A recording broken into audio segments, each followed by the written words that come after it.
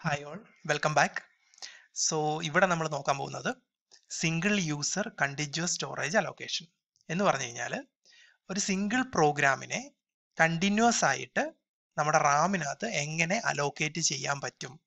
അതാണ് നമ്മളിവിടെ നോക്കാൻ പോകുന്നത്. അതായത് ഒരു ഈ സിംഗിൾ യൂസർ എന്ന് പറയുന്ന ഒരു സിംഗിൾ പ്രോഗ്രാം ആട്ടോ. ഈ യൂസർ എന്ന് ഉദ്ദേശിക്കുന്ന പ്രോഗ്രാമിനെയാണ് ഓക്കെ അപ്പൊ അങ്ങനെയാണെങ്കിൽ എന്താണ് ഒരു സിംഗിൾ പ്രോഗ്രാമിനെ നമുക്ക് കണ്ടിന്യൂസ് ആയിട്ട് റാമിൽ എങ്ങനെ അലോക്കേറ്റ് ചെയ്യാം? അതായത് ഫുൾ പ്രോഗ്രാമിനെ നമുക്ക് എങ്ങനെ റാമിനകത്ത് അലോക്കേറ്റ് ചെയ്യാം എന്നുള്ളതാണ് നമ്മളിവിടെ നോക്കാൻ പോകുന്നത്. അതാണ് ഇവിടെ single user continuous storage allocation എന്നുകൊണ്ട് ഉദ്ദേശിക്കുന്നത്. ഓക്കെ അപ്പോൾ ഇങ്ങനെ നമുക്കൊരു എന്താണ് നമുക്കറിയാം നമ്മുടെ റാമിന്റെ സൈസ് എന്ന് പറയുന്നത് ഭയങ്കര ലിമിറ്റഡ് ആണല്ലോ. ഓക്കെ അപ്പം മെയിൻ മെമ്മറിയാണ് റാം എന്ന് പറയുന്നത്. റാമിന്റെ സൈസ് ലിമിറ്റഡ് ആണ്. ആ പ്രോഗ്രാം എന്ന് പറയുന്നത് ചെറുതാണെങ്കിൽ നമുക്ക് എന്ത് ചെയ്യാം? ഈ നമുക്ക് ആ ഫുൾ പ്രോഗ്രാമിനെ നമുക്ക് റാമിലേക്ക് ലോഡ് ചെയ്തിട്ട് എക്സിക്യൂട്ട് ചെയ്യാൻ പറ്റും. പ്രോഗ്രാമിന്റെ സൈസ് ചെറുതാണെങ്കിൽ നമ്മൾ റാമിന്റെ സൈസിനെക്കാട്ടിലും ചെറുതാണെങ്കിൽ ഓക്കെ അപ്പൊ റാമിന് അതിനെ ഫുൾ ആയിട്ട് ഉൾക്കൊള്ളാൻ പറ്റുമെങ്കിൽ നമുക്ക് എന്ത് ചെയ്യാം? ആ പ്രോഗ്രാമിനെ നമുക്ക് റാമിലേക്ക് ലോഡ് ചെയ്തിട്ട് ഫുൾ ആയിട്ട് ലോഡ് ചെയ്തിട്ട് നമുക്ക് എക്സിക്യൂട്ട് ചെയ്യാൻ പറ്റും. ഓക്കെ ഇനി പ്രോഗ്രാമിന്റെ സൈസ് എന്ന് പറഞ്ഞാൽ വളരെ കൂടുതലാണെന്ന് വിചാരിക്കുക. ലാർജ് സൈസ് ഉള്ള ഒരു പ്രോഗ്രാം ആണെങ്കിൽ നമുക്ക് എന്ത് ചെയ്യാൻ പറ്റും? ആ അതിന് നമ്മൾ ഉപയോഗിക്കുന്ന ഒരു പരിപാടിയാണ് ഈ ഓവർലേ സ്ട്രക്ചർ എന്ന് പറയുന്നത്. ഓക്കെ അപ്പോൾ ഈ യൂസർ പ്രോഗ്രാമിന്റെ സൈസ് എന്ന് പറയുന്നത് വളരെ കൂടുതലാണെങ്കിൽ നമുക്ക് ഓവർലേ സ്ട്രക്ചർ യൂസ് ചെയ്തിട്ടായിരിക്കും നമ്മൾ എന്ത് ചെയ്യുക? ഈ ഒരു കേസിൽ നമ്മൾ എക്സിക്യൂട്ട് ചെയ്യുന്നത്. ഓക്കെ അപ്പോൾ ഇവിടെ നോക്കിയാൽ നിങ്ങൾക്ക് അറിയാം ഇവിടെ ഓപ്പറേറ്റിംഗ് സിസ്റ്റത്തിന്റെ ഏരിയ ആണ് യൂസർ പ്രോസസ് ഏരിയ ആണ്. കുറച്ച് ഫ്രീ ആയിട്ടുള്ള ഏരിയ ഉണ്ട്. ഇതാണ് നമ്മുടെ റാമിന്റെ സ്ട്രക്ചർ എന്ന് പറയുന്നത്. ഓക്കെ അപ്പോൾ എന്താണ് ഈ ഓവർലേ സ്ട്രക്ചർ എന്നുള്ളത് നമുക്ക് നോക്കാം. സോ അതിനൊരു ഫിഗർ ഉണ്ട്. യെസ് അപ്പൊ ഇവിടെ നോക്കിക്കഴിഞ്ഞാൽ നിങ്ങൾക്ക് ഇതാണ് ഓവർലേ സ്ട്രക്ചർ എന്ന് പറയുന്നത്. അപ്പം ഇവിടെ ഇതാണ് നമ്മുടെ റാം. ഓക്കെ ഈ ലെഫ്റ്റ് സൈഡിൽ കാണിക്കുന്നതാണ് നമ്മുടെ റാം എന്ന് പറയുന്നത്. ഇത് നമ്മുടെ ഓപ്പറേറ്റിംഗ് സിസ്റ്റത്തിന്റെ ഏരിയ ആണ്. സീറോ മുതൽ എ വരെ നമ്മുടെ ഓപ്പറേറ്റിംഗ് സിസ്റ്റത്തിന്റെ ഏരിയ ആണ്. എ മുതൽ ബി വരെ. അതായത് ഇത്രയും ഏരിയ എന്ന് പറയുന്നത് എന്താണ്? ഇവിടുത്തെ പ്രത്യേകത എന്ന് പറഞ്ഞു കഴിഞ്ഞാൽ ഇപ്പം ഒരു പ്രോഗ്രാം എക്സിക്യൂട്ട് ചെയ്ത് തീരുന്നിടം വരെ ചില ഡേറ്റയും കോഡും ഒക്കെ നമുക്ക് മെമ്മറിയിൽ വേണം. ഓക്കെ അതായത് ഒരു പ്രോഗ്രാം നമ്മൾ എക്സിക്യൂട്ട് ചെയ്ത് തീരുന്നിടം വരെ ചില ഡേറ്റാസും ചില കോഡുകളൊക്കെ നമുക്ക് മെമ്മറിയിൽ അവിടെ നിർത്തണം. ഓക്കെ അപ്പൊ അങ്ങനെ വരുന്ന ആ ഒരു ഡേറ്റയും കോഡുകളും ആയിരിക്കും ഈ ഒരു എ ടു ബി എന്നുള്ള ഈ ഒരു പോർഷനിൽ വരുന്നത്. ഓക്കെ ഇനി ബാക്കി ബി മുതൽ സി വരെയുള്ള ഈ ഒരു ഏരിയ ആണ് നമ്മൾ ഓവർലേ ഏരിയ എന്ന് പറയുന്നത്. ഇതാണ് ഓവർലേ ഏരിയ ഇനി ഇവിടെ എങ്ങനെയാണ് നമ്മൾ പ്രോഗ്രാമിൽ ലോഡ് ചെയ്യുന്നത്? അപ്പൊ ഈ റൈറ്റ് സൈഡിൽ കാണിച്ചേക്കുന്നതാണ് നമ്മുടെ പ്രോഗ്രാം എന്ന് പറയുന്നത്. വലിയൊരു പ്രോഗ്രാമാണ് നമ്മൾ ഇവിടെ എന്താ ചെയ്യുന്ന പറഞ്ഞു കഴിഞ്ഞാൽ നമ്മൾ ആ പ്രോഗ്രാമിനെ നമ്മൾ എന്ത് ചെയ്യും? ഡിവൈഡ് ചെയ്യും. ഓക്കെ ഈ പ്രോഗ്രാമിനെ നമ്മൾ നമ്മൾ ലാർജ് പ്രോഗ്രാമിനെ നമ്മൾ ചെറിയ ചെറിയ പോർഷൻ ആയിട്ട് നമ്മൾ ഡിവൈഡ് ചെയ്യും. ഓക്കെ അപ്പൊ ഇവിടെ നോക്കിയാൽ ഇനിഷ്യലൈസേഷൻ ഫേസ് ആണ് ഇത്ര ഏരിയ എന്ന് പറയുന്നത്. ഇത് പ്രോസസ്സിംഗ് ഫേസ് വരുന്നതാണ്. ഇത്ര ഏരിയ എന്ന് പറയുന്നത് ഔട്ട്പുട്ട് ഫേസ് ആണ്. ഇതെല്ലാം കൂടെ ചേരുന്നതാണ് നമ്മുടെ ഒരു പ്രോഗ്രാം എന്ന് പറയുന്നത്. അപ്പൊ നമ്മൾ അതിനെ ഡിവൈഡ് ചെയ്തേക്കുന്നതാണ്.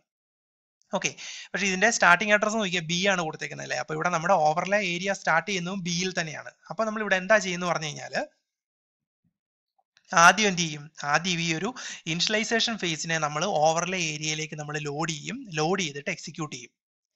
അതിനുശേഷം നമ്മൾ എന്ത് ചെയ്യും? ഈ ഒരു പ്രോസസ്സിംഗ് ഫേസിനെ നമ്മൾ വീണ്ടും ലോഡ് ചെയ്യും. പ്രോസസ്സിംഗ് ഫേസിനെ പിന്നെ നമ്മൾ ലോഡ് ചെയ്യുന്നു. എന്നിട്ട് നമ്മൾ അതിനെ എക്സിക്യൂട്ട് ചെയ്യുന്നു. അതിനുശേഷം നമ്മൾ ഔട്ട്പുട്ട് ഫേസിനെ നമ്മൾ ഓവർലേ ഏരിയയിലേക്ക് ലോഡ് ചെയ്യുന്നു. എന്നിട്ട് എക്സിക്യൂട്ട് ചെയ്യുന്നു.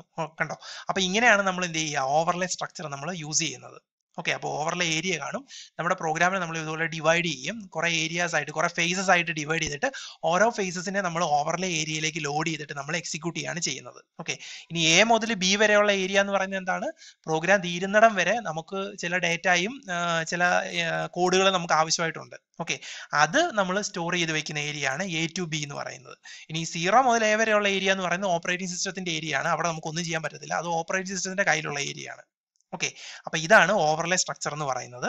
അപ്പൊ അതിന്റെ ഒരു എക്സ്പ്ലനേഷൻ ആണ് ഞാൻ ഇവിടെ ഈ തന്നിരിക്കുന്നത്. ഓക്കെ ഇനി ഇവിടെ നമ്മൾ എങ്ങനെ പ്രൊട്ടക്ഷൻ നമ്മൾ കൊടുക്കും എന്നുള്ളതാണ് ഓക്കെ അപ്പൊ നമുക്ക് ഓയസിനെ നമ്മൾ പ്രൊട്ടക്ട് ചെയ്യണം അല്ലെ? അതായത് ഇപ്പം ചില സമയത്ത് എന്താണ് ഈ യൂസർ പ്രോഗ്രാം ഓപ്പറേറ്റിംഗ് സിസ്റ്റത്തിനെ അറ്റാക്ക് ചെയ്യാൻ പാടില്ല. യൂസർ പ്രോഗ്രാം എന്ന് പറയുന്നത് ഓപ്പറേറ്റിംഗ് സിസ്റ്റത്തിനെ ഒരിക്കലും അറ്റാക്ക് ചെയ്യാൻ പാടില്ല. അപ്പോൾ ഓപ്പറേറ്റിംഗ് സിസ്റ്റത്തിനെ നമ്മൾ പ്രൊട്ടക്ട് ചെയ്യണം അല്ലെ? അപ്പൊ ഇവിടെ നമ്മൾ എങ്ങനെ ഓപ്പറേറ്റിംഗ് സിസ്റ്റത്തിനെ ഈ ഓവർലേ സ്ട്രക്ചർ യൂസ് ചെയ്യുന്നു.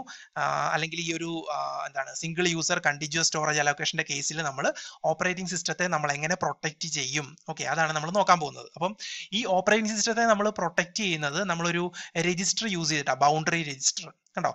അപ്പോൾ ഈ ബൗണ്ടറി രജിസ്റ്റർ സി പി ഒരു രജിസ്റ്റർ ഉണ്ട് ബൗണ്ടറി രജിസ്റ്റർ ഈ ബൗണ്ടറി രജിസ്റ്ററിൽ ഒരു അഡ്രസ് ഉണ്ട് എ എന്ന് പറഞ്ഞ അഡ്രസ് ഉണ്ട്. ഈ അഡ്രസ് എന്ന് പറയുന്നത് എന്താണ്? ഇത് ഈ അഡ്രസ് ആണ് കേട്ടോ സീറോ മുതൽ എ വരെ. അതായത് ഈ ഓപ്പറേറ്റിംഗ് സിസ്റ്റം യൂസ് ചെയ്യുന്ന ഏറ്റവും ഹയസ്റ്റ് അഡ്രസ് ആണ് എ എന്ന് പറയുന്നത്. ഓപ്പറേറ്റിംഗ് സിസ്റ്റം യൂസ് ചെയ്യുന്ന ഏറ്റവും ഹയസ്റ്റ് അഡ്രസ് ആണ് എ എന്ന് എ എന്ന് പറയുന്നത്.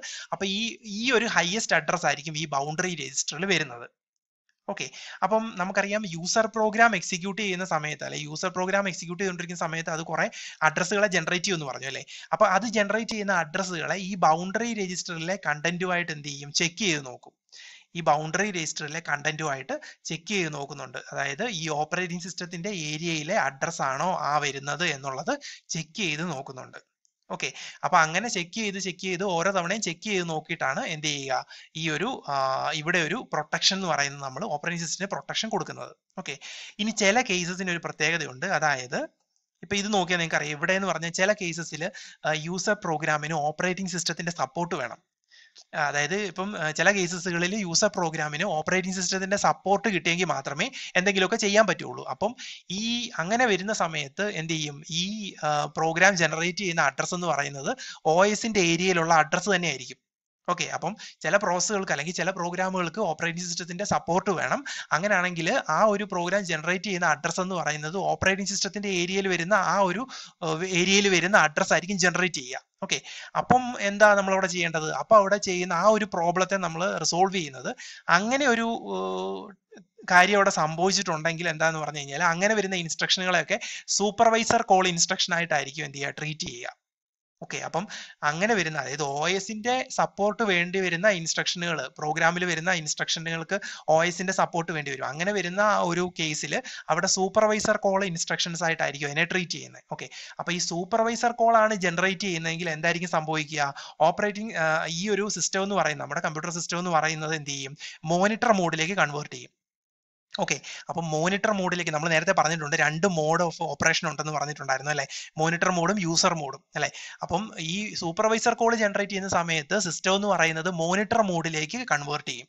അപ്പോൾ മോണിറ്റർ മോഡിൽ ആരുടെ കയ്യിലായിരിക്കും? ഫുൾ കൺട്രോൾ എന്ന് പറയുന്നത്. ഓപ്പറേറ്റിംഗ് സിസ്റ്റത്തിന്റെ കയ്യിലായിരിക്കും ഫുൾ കൺട്രോൾ എന്ന് പറയുന്നത്. ഓക്കെ അതുകൊണ്ട് യൂസർ പ്രോഗ്രാമിന് ഓപ്പറേറ്റിംഗ് സിസ്റ്റത്തിനെ തൊടാൻ പറ്റില്ല. ഓക്കെ അപ്പോൾ യൂസർ പ്രോഗ്രാമിന് ഓപ്പറേറ്റിംഗ് സിസ്റ്റത്തെ അറ്റാക്ക് ചെയ്യാൻ പറ്റില്ല.